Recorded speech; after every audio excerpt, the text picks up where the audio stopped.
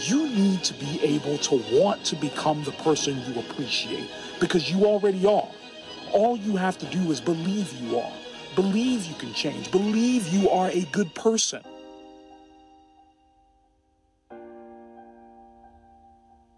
That is the person you need to be. Use your power and use your potential. Take pride in your progress. Take pride in your growth. You deserve that. You deserve to appreciate your life. So, who do you want to be? How do you need to change? Hi, this is Rain, and this is my journey. The hardest, the almost impossible, but the most rewarding achievement I did for myself. At the beginning, I actually want to impress people, to fit in, to be accepted, to. I didn't start this for myself. I did this for others. Others that are hard to please, that I always ask for approval. I feel that my life is always subject for their approval. I was always rejected, judged, called by different names, bullied.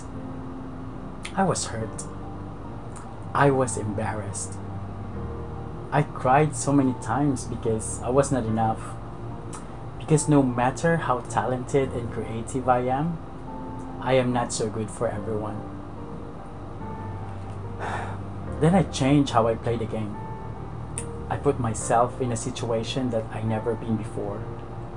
That is to prioritize myself, to do things that will make me happy, to do things that will make me accept myself. This weight loss journey was never easy. I cried, I starved, I suffered, I almost died, and no one supported me on this.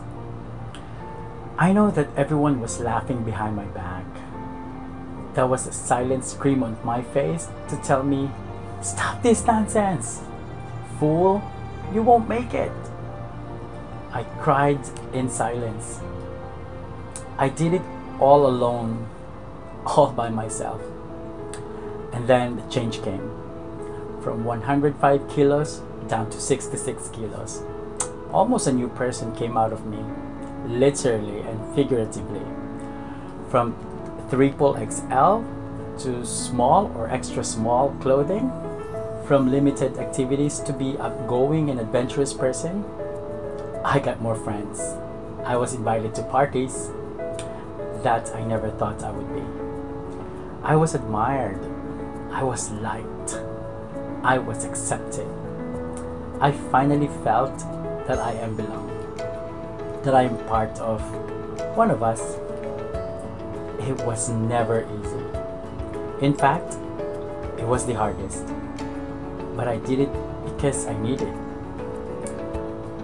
Don't tell me it's okay to be fat because I know in one of your wishes, in one of your prayers, is to lose a bit of your weight, to look nicer and better on your OOTDs, that you are already bored of wearing dark colored clothes to look slim.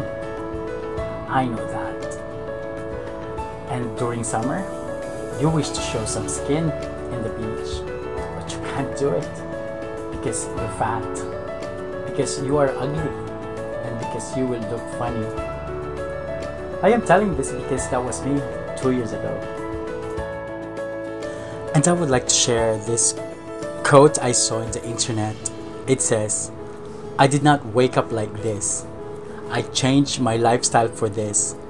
I worked out late for this. I changed what I eat for this. I sweat for this.